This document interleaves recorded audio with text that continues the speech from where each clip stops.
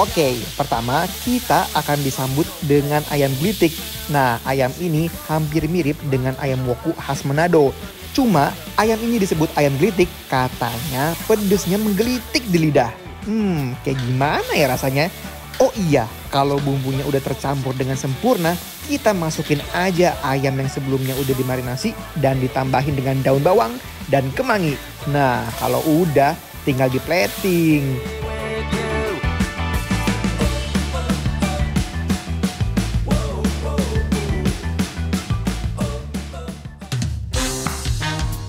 Kalau menu yang satu ini udah pasti menggoda selera nih guys. Yuhu.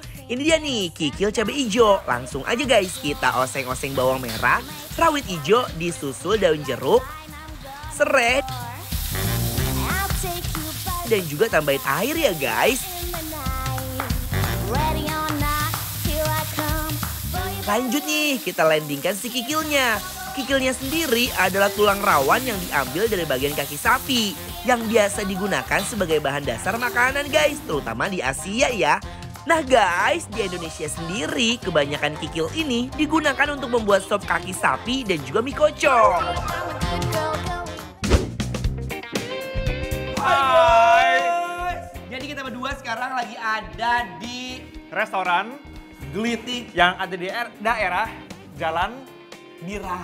Birah apa? S. ini salah satunya menu yang di sini juga sudah eh, menarik perhatian kita. Iya. Karena aku tuh cinta banget. Ini apa? Ini dendeng. Nih sambelnya tuh biar banyak lagi tuh. Uh, Uy. soyam.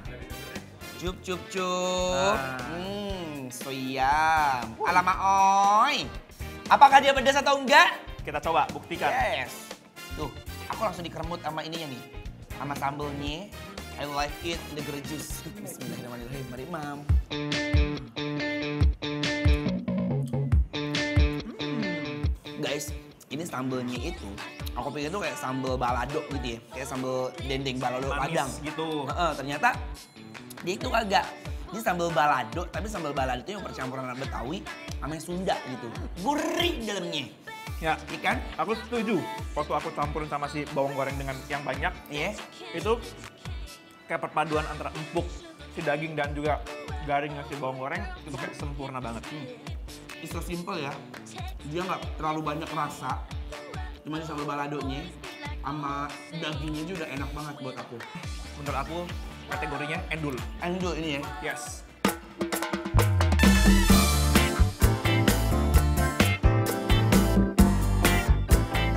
Jujur nih guys, bumbu dendengnya itu pedes banget. Lebih pedes dari mulut netizen. Dia dia bakwan. Kasihan kalau dianggurin guys. Udah segede bagong tuh. Nah, ya. Hmm. Ini kelihatannya bakwannya udah enak banget ya. Uh. Dia kayak bakwan kampung yang ada di pinggir jalan. Karena rasanya menurut Anda udah enak, boleh nggak sih kalau kita kawinin? Udah nyobain tadi? Udah! Tuh, Hmm, nyanyi nggak? crunchy. Iya. Bismillahirrahmanirrahim. Hmm, ya. Ini bukan tipikal bakwan Yang yang lembek. udah didiemin tuh langsung lembek. Kagak, didiemin dia malah udah adem ya, udah dingin tuh apa namanya suhunya. Tapi dia masih kerenyang-kerenyang gitu. Suhu. Tadi kalau pas makan doang gini, hah, pedes kayak digaplok. Udahan ya? Tapi pas udah ketemu dia masih bakwan, ketemu sama nasi sama bawang goreng, Ya udah. udah. Pedesnya dari 10 turun jadi 5. Dendengnya empuk dan pedes dari bumbunya tuh juga nampol banget. Ini namanya ada ayam gelitik.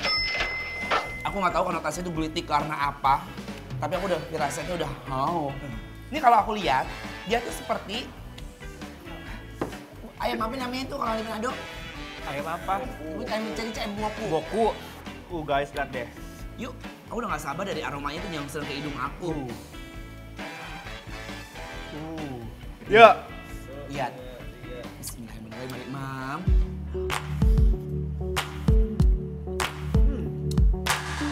You found me at the scene on the periphery, on the edge. Friend at the Meresap, meresap gitu. Bumbunya meresap sampai ke dalam pori-pori ayam, beneran. Iya bener-bener. Iya kan? Tapi aku setuju. Kalian bayangin rasanya ayam woku, tapi ini menurutku ada sensasi manisnya gitu loh. Iya. Nah gue nggak tahu dipakai apa itu gula lah pastinya. Gila lah. Bismillahirrahmanirrahim.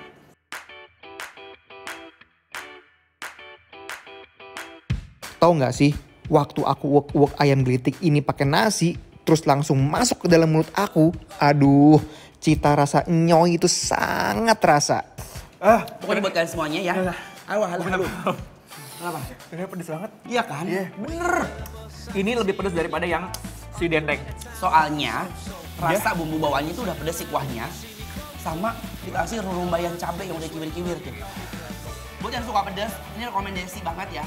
Datang ke sini, langsung pesen si ayam gelitik. Iya. So simple namanya. Nih guys, kalian ada kucuran keringat gue. Ya, seru banget gila makannya. Uh, I'm gonna take it all the way when I hear the music play. 'Cause Uy, uy, uy, uy.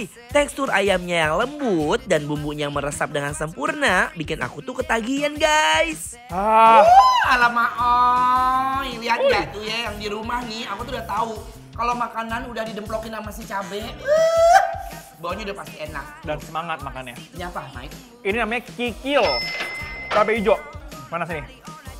Uh, Thank you. Ah. Oh nice, kikil itu lucu banget ya, dia tuh kayak marshmallow bawang coklat gitu loh guys. Uh, emang demen kan sama bawang goreng gitu ya, bawang goreng mulu dia pakein. habis. Tolong penjaga ya, diganti baru bawang gorengnya. Ah, mau cobain Lihat tuh, uh, amboy rasanya tuh. Bismillahirrahmanirrahim. Mari mam.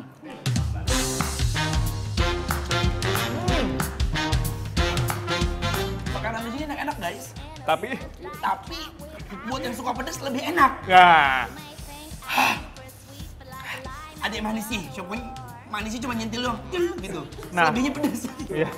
Perlu diperhatikan juga, si kikilnya adalah kualitas terbaik ya. Kikilnya nggak ada aroma-aroma apek, amisnya nggak ada. Karena si kikilnya aku lebih kayak merasa kayak makan busa, tau gak busa? Bukan busa, apa sih Mike? Hmm. Melted gitu, pokoknya kayak di mulut tuh kayak No. harui gitu.